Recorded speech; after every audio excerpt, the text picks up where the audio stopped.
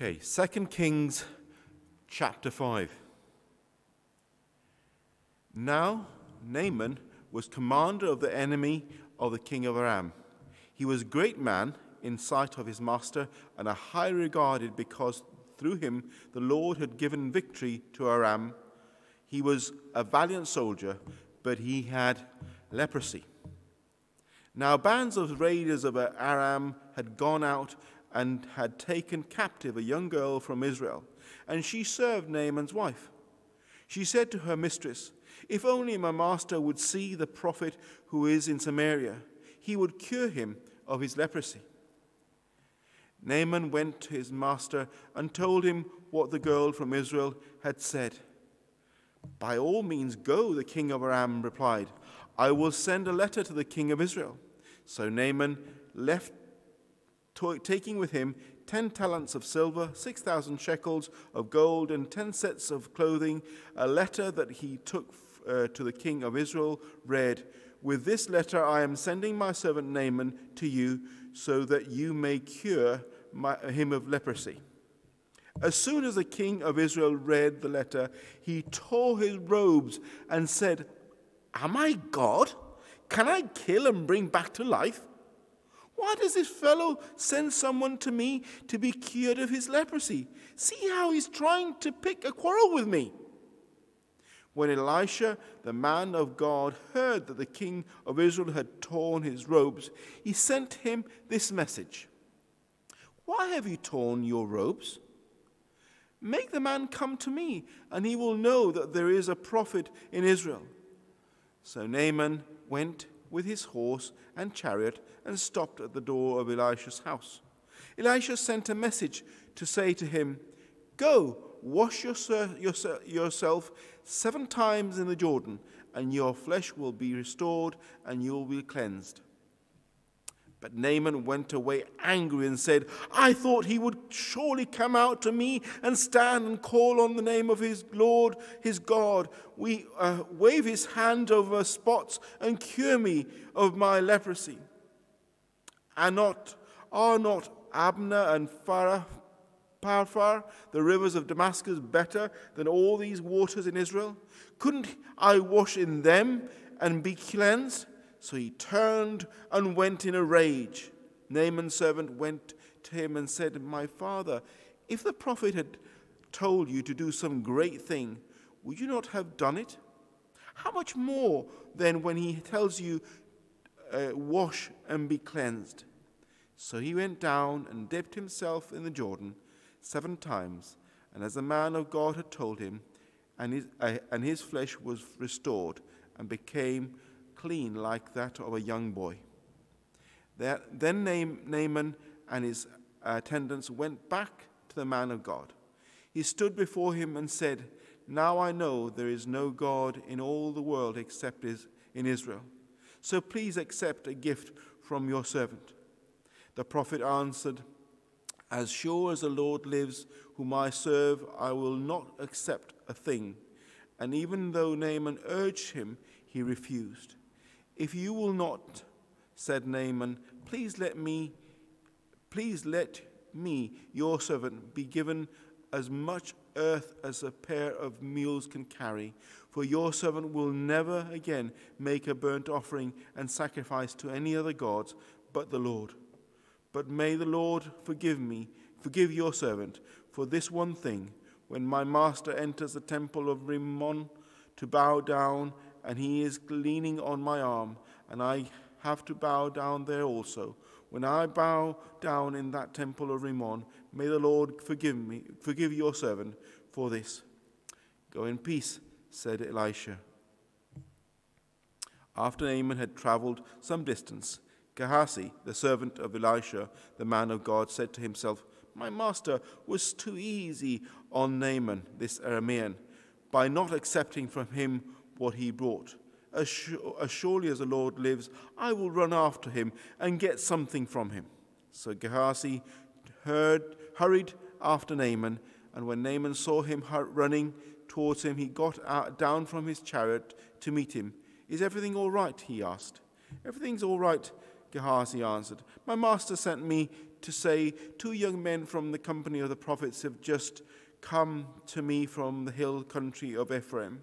Please give me, give them a, a, talent of silver and two sets of clothing.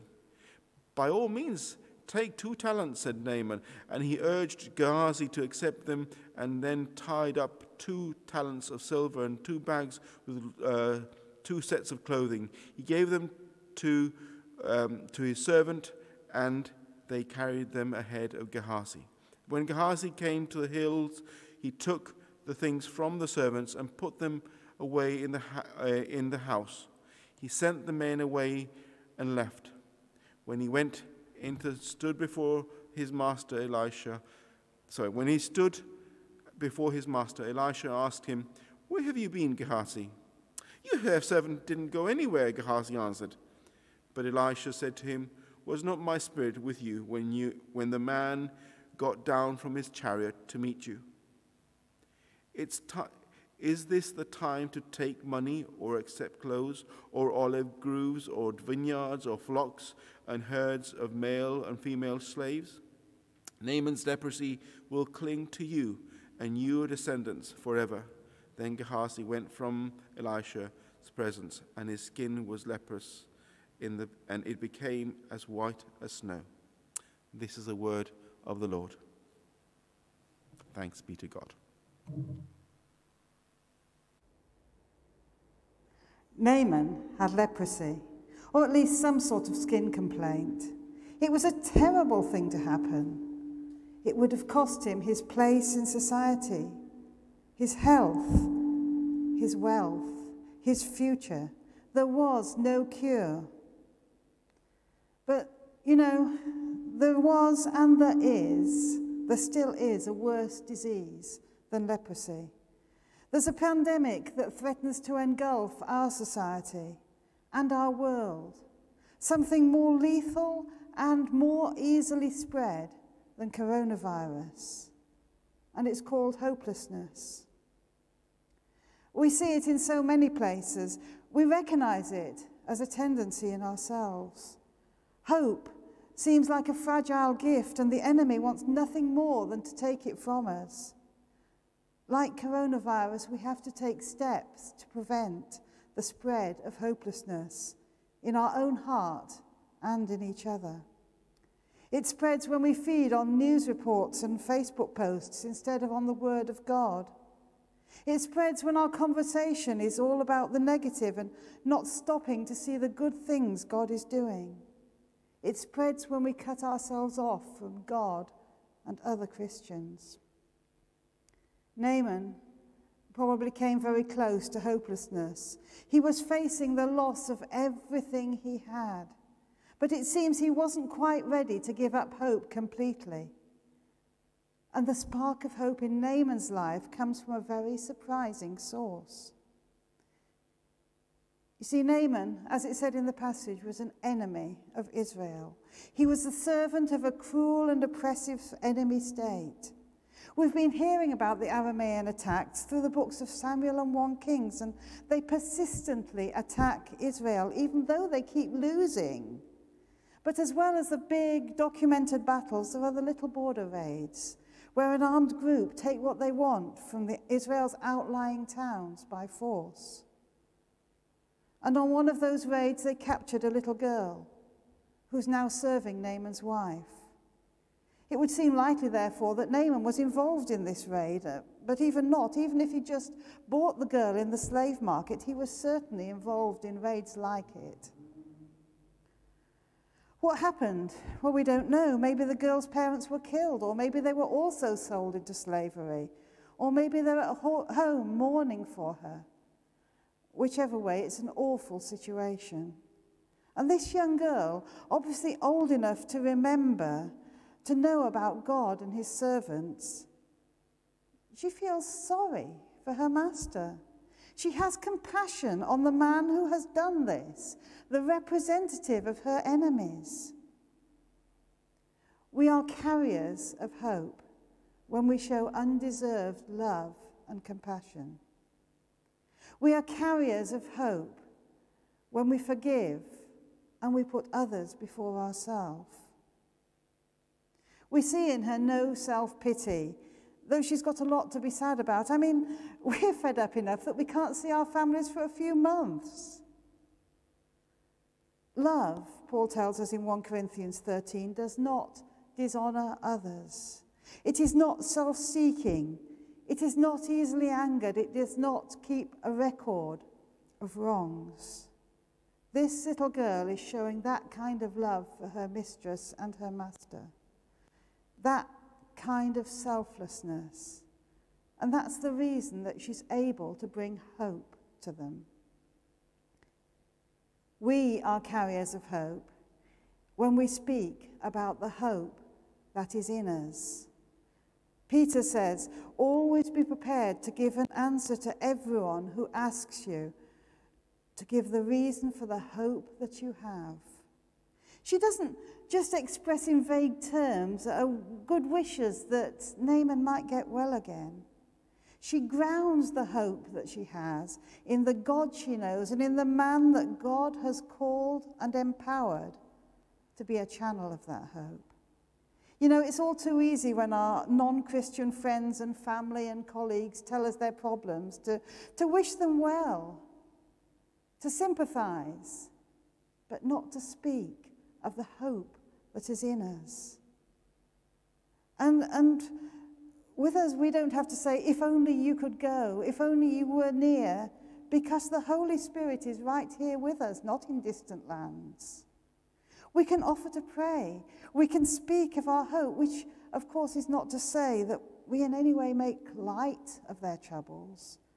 Or, and we certainly don't suggest that as Christians we don't have such problems. So, Naaman gains hope.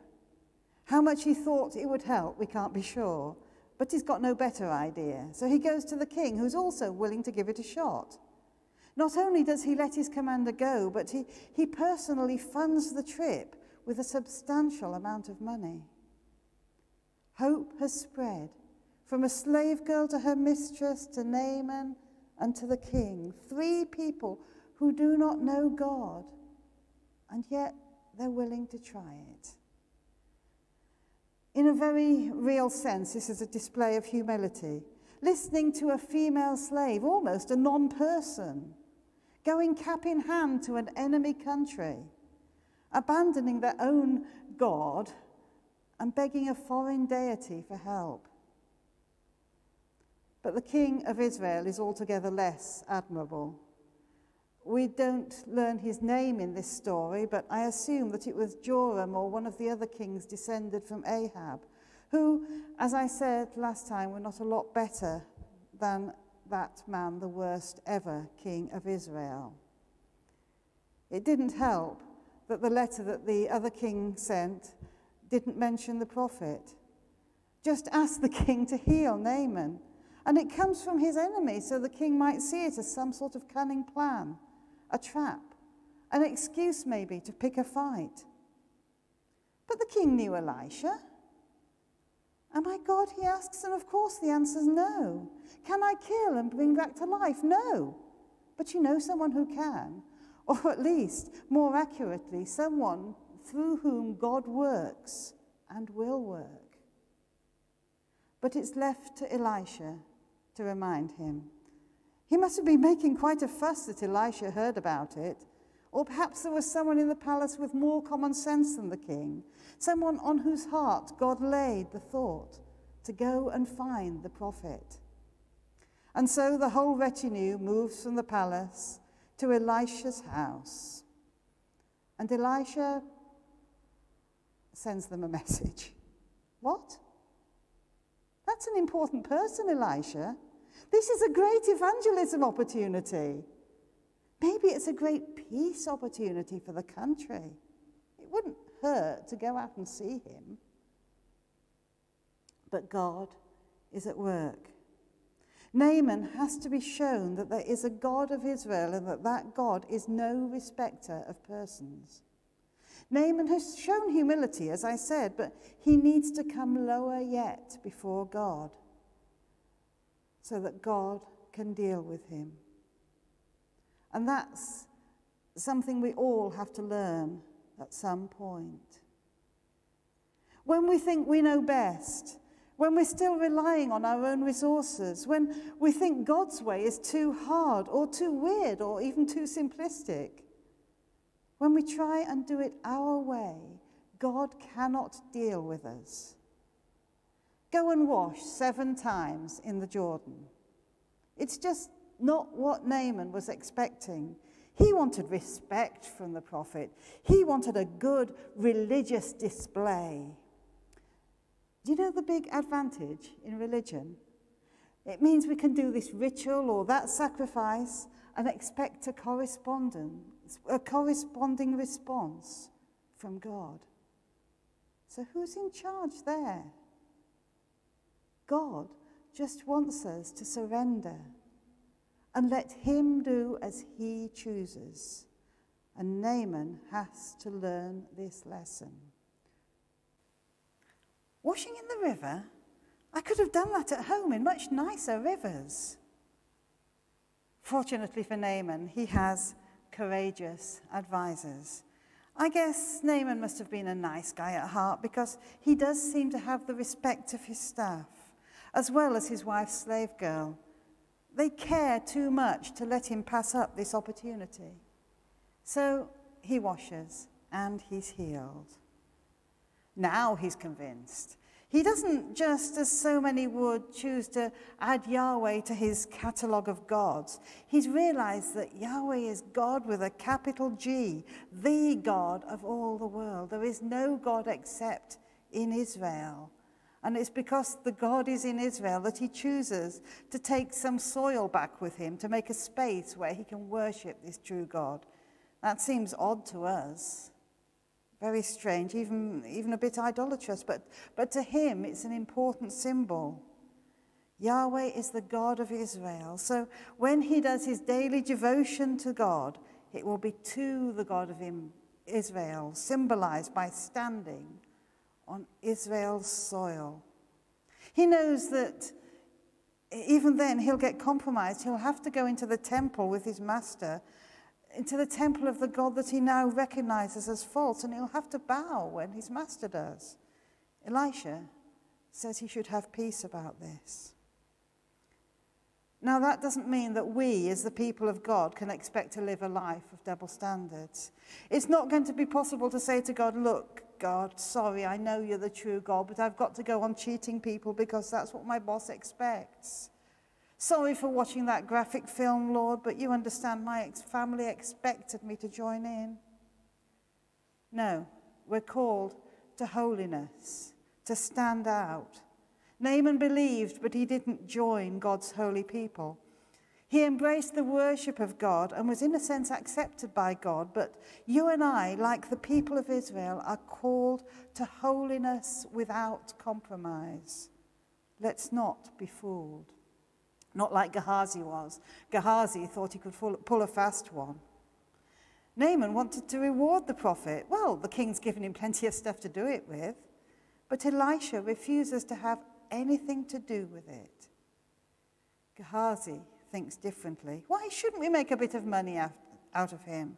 He's not even one of us. He's, he's the enemy. Some of that stuff probably came from looting our land anyway. I want some of that. And Naaman's more than happy to give it to him. So why not? Well, it's because God's gifts are not for sale. God is our provider and he gives us freely to the outsider as he does to us. If you want what Naaman had, Elisha tells him, fine, have his leprosy too. God calls us to hope, to love, to humility, to dependence, and to holiness. There's something else in this story too, something that's not mentioned in the text. It's an unspoken fact, but Jesus mentions it. In Luke 4:27 we read this, there were many in Israel with leprosy in the time of Elisha the prophet, yet not one of them was cleansed, only Naaman the Syrian. Jesus says this just after he's been rejected by the synagogue in his hometown. Sometimes the people of God become complacent. Sometimes we stop seeing things God's way. And it takes someone from outside to wake us up to what we have, what God is doing. Are we awake to what God is doing in this time of pandemic, in this time of international crisis? Are we going to cling on to our religious structures and the way things were? Or will we cry out to God to open our eyes so that we see things His way? Naaman had a slave girl who pointed him to God. He had servants who urged him to listen, and he listened. The people of Nazareth heard the words of Jesus and they just said, Well, he's the carpenter's son. Paul in Romans chapter 11 urges us to consider and recognize our position. We have been made part of God's family through grace. But just like the people of Nazareth, the people of Israel, none of us is immune to complacency and blindness. And we have to take care that we continue on the path He has for us, staying close to Him. Brothers and sisters, God's holy people, let's be alert to hear Him speaking at this time. Let's have the humility to do what He calls us to do, even if it's not the way we saw it happening.